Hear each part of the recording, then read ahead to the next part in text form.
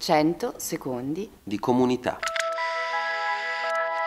Eh, siamo una compagnia di teatro, produciamo spettacoli e progetti teatrali di drammaturgia contemporanea. Quello che stiamo facendo inoltre sono anche alcuni laboratori, eh, un laboratorio di eh, narrazione per over 65, partirà poi a breve un corso invece per gli adolescenti e quando parliamo di adolescenti parliamo di ragazzi degli istituti superiori. Inoltre ad Abbiate Grasso collaboriamo con la tribù Onlus per eh, un laboratorio eh, di teatro per eh, le loro utenze che sono fatte essenzialmente da ragazzi arabi. È il secondo anno noi che lo facciamo, è partito l'anno scorso con alcuni di loro, il percorso è andato avanti e si è creato anche un certo tipo di rapporto. Mm, la cosa più complicata forse è appunto è stato l'incontro tra le due, tra le due culture, insomma, abbiamo dovuto capire delle loro esigenze che per noi erano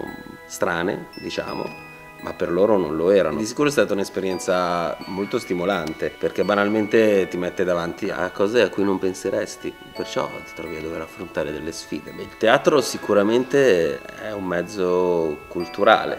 Se partiamo da questo presupposto, uno dei maggiori mezzi secondo, secondo noi che serve ad integrare è la cultura, è lo studio, è il conoscere le cose. Se ancora di più diventasse cassa di risonanza, il linguaggio teatrale per noi sarebbe un ottimo obiettivo raggiunto. Sì, sì poi ci piacerebbe molto fare rete, insomma, coinvolgere anche altre, altre realtà, altri, altri, altri paesi, altri, altri luoghi, insomma.